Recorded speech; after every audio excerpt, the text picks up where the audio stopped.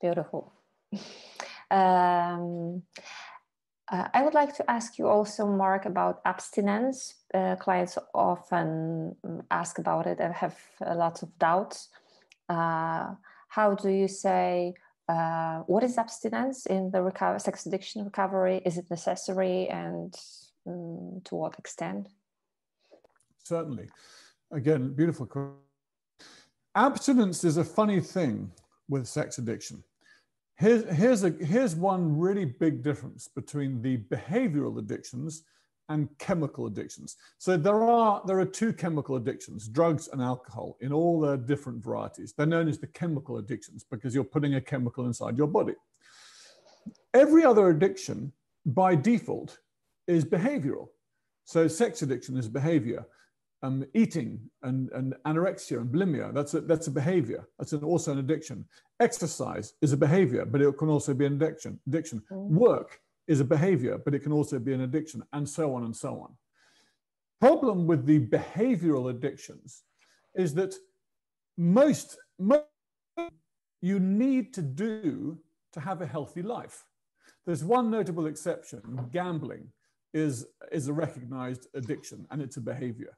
You do not need to gamble. No one needs to gamble. So that's that's one exception. But every other behavioral addiction I can think of, work, exercise, sex, eating, eh, eh, whatever it is, you, you have to do it. You have to eat to have a healthy life.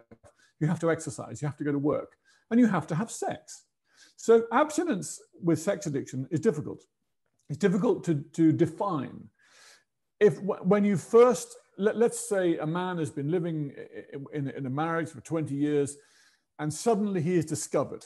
He's discovered um, using pornography, or he's discovered seeing prostitutes, or you know, there's a big explosion, and finally all his secrets are discovered. Let's say, for example, mm-hmm. at that point, at the initial time of discovery, certainly the the damaging behaviors need to stop.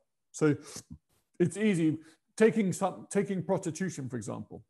If a man is seeing a prostitute, for example, behind without his wife's knowledge, clearly that needs to stop because that's only going to cause more damage to him, to the prostitute, and to his wife. So that kind of behavior has to stop.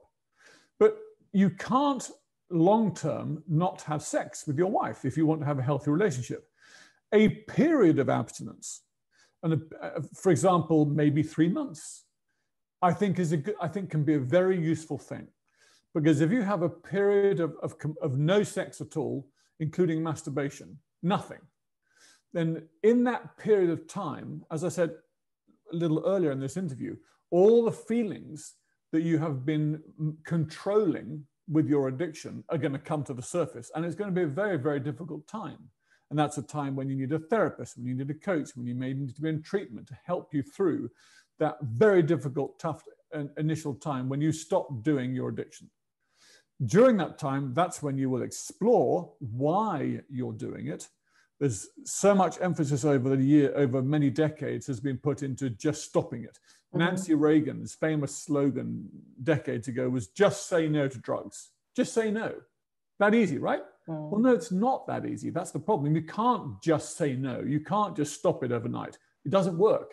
You have to understand why you're doing something if you're going to if you're going to then choose to stop doing it. But you're not going to stop it if it's actually been helping you through life for the last 10 20 30 years unless you understand the why. Desmond tutu that beautiful man that amazing man he has a very famous quote which i love to use. He says we have to just stop pulling people out of the river. We have to go upstream and figure out why people are falling in in the mm. first place addiction, addiction itself is seen by everybody as a huge problem. But what people have to realize is that addiction is actually a symptom of a problem. Addiction is not the key problem. The problem is in here. The problem is in your heart. The problem is in your head. The problem is why are you doing it? That's what you have to understand. So abstinence helps bring all that difficulty out to the surface, but you've got to do it with help if someone has been looking at pornography for 10 years or seeing prostitutes for 15 years, if they suddenly stop and then try and make it through life, I almost I predict they're going to get very angry or very depressed. And without professional help, it is a very, very dangerous time. Stopping any addiction for however long, for any period of time, is dangerous to do it without help. Does that make sense? Yeah, yeah, totally. Mm, uh, can have can sex addict have a healthy sex?